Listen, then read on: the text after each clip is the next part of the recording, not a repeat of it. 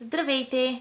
Първо искам да ви благодаря за прекрасните положителни отзиви, които получих относно първото видео с игрите за Алекчето. От вас разбрах, че ви е било изключително полезно и че ви е интересно да видите още. Затова, както ви обещах, смятам да продължа да снимам подобни всеки четвъртък, поне за известно време. Ще качвам по една игра. Смятам, че така ще имате достатъчно време да си набавите необходимите материали и да я приготвите за уикенда. Причината, поради която смятам да качвам само по една игра на седмица, бяха вашите въпроси. Много от вас ме попитаха как точно съм направила играта с рибките, което ме наведи на мисълта, че няма да е никак лоша идея да ви вкарам в самия мейкинг процес или иначе казано и да ви покажа как правя игрите, а не само как Алекс се забавлява с тях. Освен това, не искам видеота да стават безкрайно дълги, because let's face it, никой родител с толкова малко дете няма излишни 15 минути да седне и да гледа пръстолевениците на някой в YouTube. И сега за тези от вас, на които също им е било интересно как съм направила играта, но не са ми писали, ще обясня накратко. Първо на лист А4 принтирате шарени рибки по ваш избор. Аз лично намерих моите в Google. Ламинирате листа и изрязвате рибките.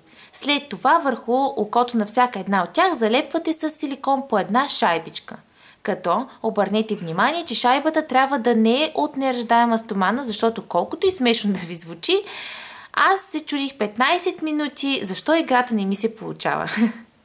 След като рибките ви са готови, идва ред на въдичката.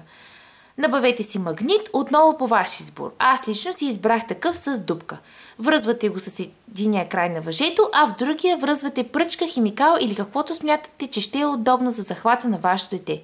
Това е всичко относно подготовката, остава само да се позабавлявате. Слагате детето да седне на стол или диван, хубаво е височината да е малко по-висока, но все пак безопасна за маничето. Рибките се разпръскват на земята под него. Целта е то така да координира движенията на ръката си, че да успява да хваща рибките с въдичката и да ги изважда от водата, така да се каже. Алечето хареса много играта и бързо схвана какво трябва да прави. Направи ми впечатление, че след това ги връщаше обратно на земята, на което не съм го учила аз. Нали не смятате, че ще останете без нова игра днес? Ето една много лесна. За направата й съм използвала рула домакинска и туалетна хартия, които отсветих с бял спрей. След това направих и пръски от лилав. Вие може да ги отстите в каквито цветове пожелаете. Хубаво е да са по-шарени.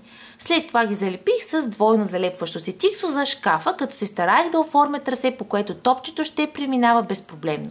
Най-отдолу сложих камионче на Алекс, за да събира падналите топчета – Имайте в предвид, че по- колкото по-голяма е повърхността, на която правите играта, толкова повече може да развихрите въображението си. Тъй като на Алек тази игра много му хареса, мисля да му направя и нещо по-масштабно и завъртяно. Друг вариант на тази игра е ето този. Използвала съм кутии от барни. Изрязват се две от кутиите от единия край, а третата оставяте така – нареждате отрязаните една върху друга, а цялата оставяте най-отдолу, за да събира падналите топчета. Аз използвах вратата на хладилника, тъй като Алек доста често виси на нея като маймунка и реших, че няма да е лоша идея нещо друго да му хваща вниманието там. Както се вижда, му е доста интересно и забавно.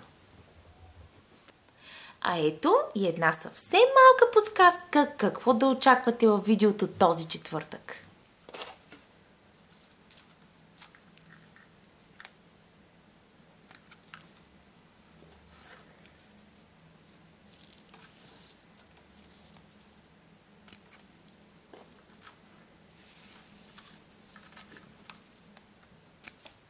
Това е от мен за днес. И не забравяйте да последвате във Facebook и в Instagram страничката One Minute Mom, където Маги всеки дневно качва игри, които прави и изпробват с малката Тари. Чао, чао! До скоро!